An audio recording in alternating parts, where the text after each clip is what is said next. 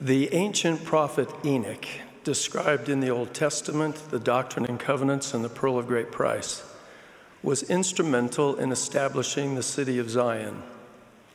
The scriptural account of Enoch's call to serve indicates that he heard a voice from heaven saying, Enoch, my son, prophesy unto this people, and say unto them, Repent, for their hearts have waxed hard, and their ears are dull of hearing, and their eyes cannot see afar off. And when Enoch had heard these words, he bowed himself to the earth and spake before the Lord, saying, Why is it that I have found favor in thy sight? and am but a lad, and all the people hate me, for I am slow of speech. Wherefore am I thy servant? Please notice that at the time of Enoch's call to serve, he became acutely aware of his personal inadequacies and limitations. And I suspect all of us at one time or another in our church service have felt much like Enoch. But I believe the Lord's response to Enoch's pleading question is instructive and applies to each of us today.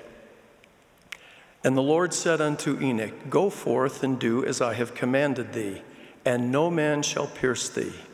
Open thy mouth, and it shall be filled, and I will give thee utterance. Behold, my spirit is upon you, wherefore all thy words will I justify. And the mountains shall flee before you, and the rivers shall turn from their course.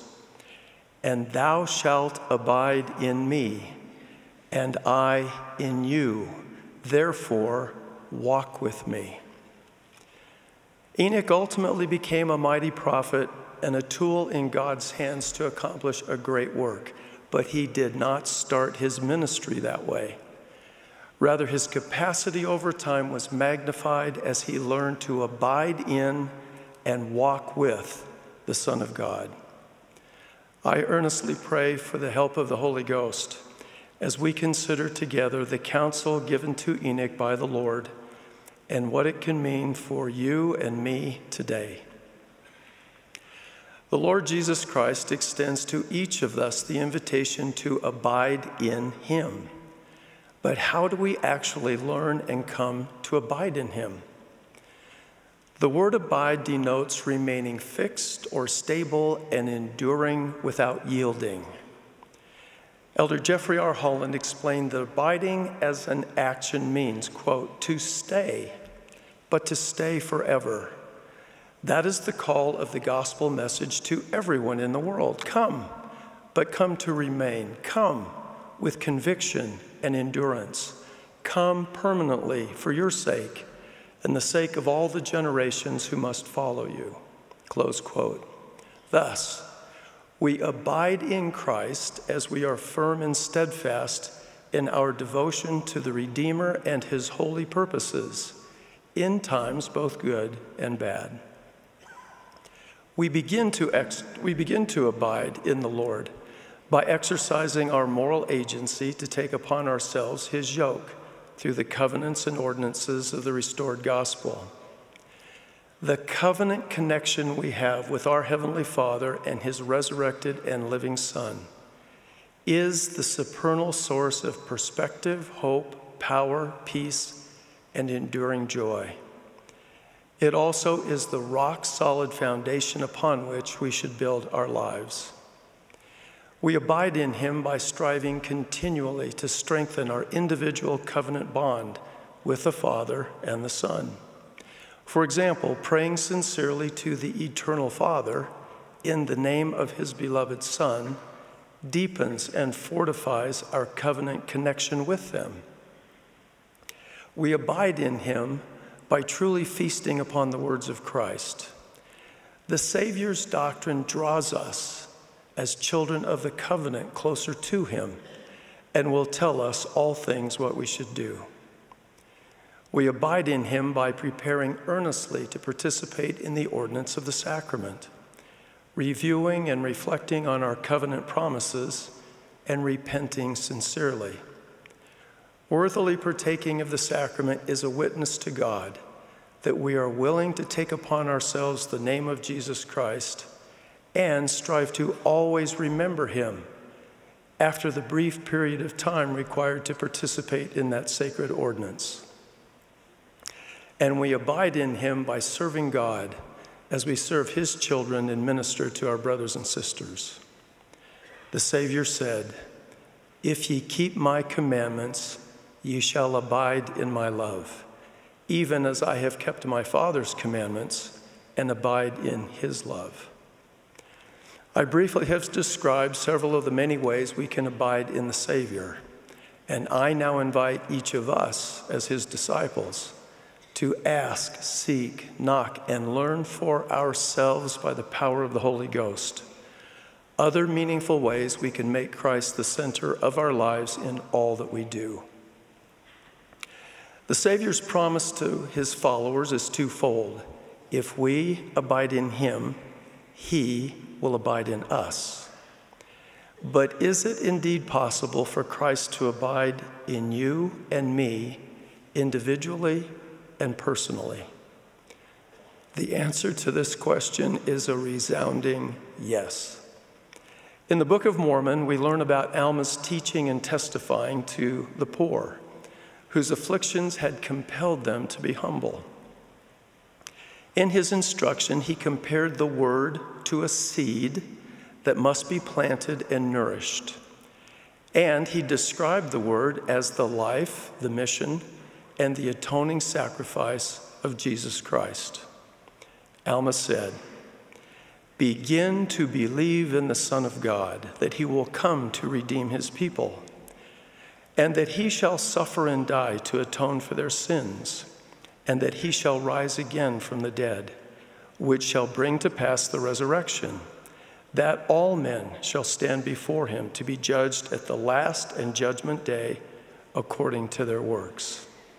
Now, brothers and sisters, given this description of the word by Alma, please consider the inspiring connection he then identifies. And now I desire that ye shall plant this word in your hearts and as it beginneth to swell, even so nourish it by your faith. And behold, it will become a tree springing up in you unto everlasting life. And then may God grant unto you that your burdens may be light through the joy of his Son. And even all this can ye do if ye will. The seed we should strive to plant in our hearts is the Word even the life, mission, and doctrine of Jesus Christ. And as the word is nourished by faith, it can become a tree springing up in us unto everlasting life. What was the symbolism of the tree in Lehi's vision? The tree can be considered as a representation of Jesus Christ. My beloved brothers and sisters, is the word in us are the truths of the Savior's gospel written in the fleshy tables of our hearts. Are we coming unto and gradually becoming more like Him? Is the tree of Christ growing in us? Are we striving to become new creatures in Him? Perhaps this miraculous potential inspired Alma to ask Have ye spiritually been born of God? Have ye received his image in your countenances? Have ye experienced this mighty change in your hearts? We should always remember the Lord's instruction to Enoch Thou shalt abide in me, and I in you. And I testify the Savior's promise to abide in us is true and available to every covenant keeping member of his restored church.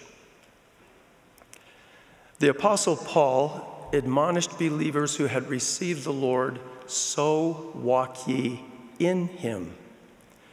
Walking in and with the Savior highlights two vital aspects of discipleship one, obeying God's commandments, and two, remembering and honoring the sacred covenants that connect us to the Father and the Son.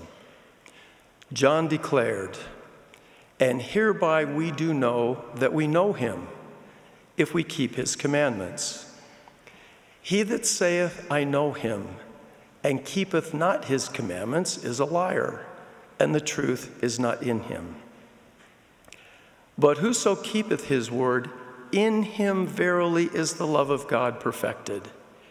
Hereby know we that we are in him. He that saith he abideth in him ought himself also so to walk, even as he walked.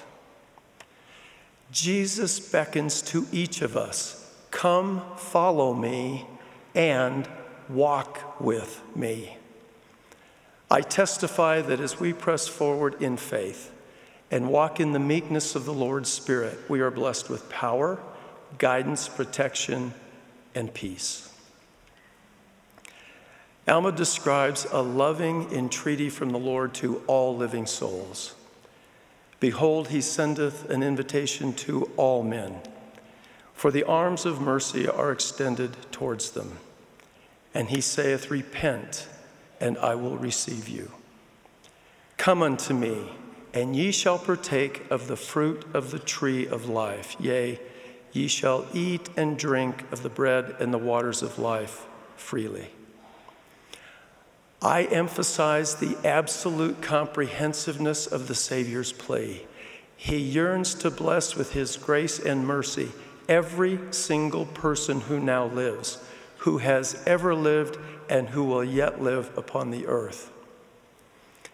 Some church members accept as true the doctrine, principles, and testimonies proclaimed repeatedly from this pulpit in the conference center and in local congregations around the world, and yet may struggle to believe these eternal truths apply specifically in their lives and to their circumstances. They believe sincerely and serve dutifully, but their covenant connection with the Father and His redeeming Son has not yet become a living and transforming reality in their lives.